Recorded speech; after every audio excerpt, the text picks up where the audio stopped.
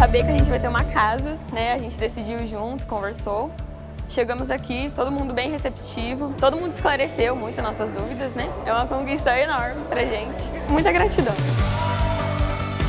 A sensação ainda eu não consigo nem explicar, né? De tanta alegria, ansiedade, tudo, porque foi tudo muito rápido, né?